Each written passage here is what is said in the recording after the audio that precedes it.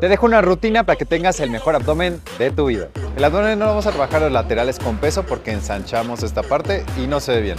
Así que vamos a trabajar esta forma. Con un peso adecuado, vamos a llevarlo a la nuca, extendemos y hacemos completo. De inicio a fin. Vamos a hacer levantamientos de piernas así enfrente. Si no lo puedes lograr a la primera, puedes hacer los levantamientos con encogimiento. Y si ya tienes mucho nivel, vamos a poner una pesa en los pies y a levantar. Ahora vamos a hacer un crunch con piernas elevadas. Vamos a poner los brazos a los lados, no atrás de la nuca para no apretar. Y solo levantamientos cortos.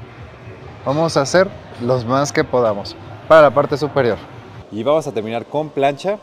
Vamos, podemos hacer la básica, intermedia o avanzada.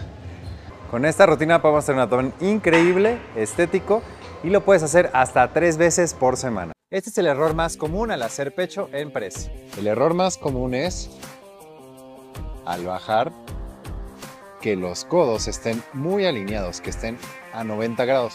Aquí donde vas a estar haciendo la presión es en los hombros.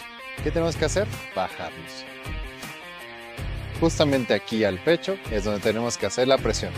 Y vamos a direccionar todo el peso hacia el pecho. If you eat less and move more, you'll lose weight.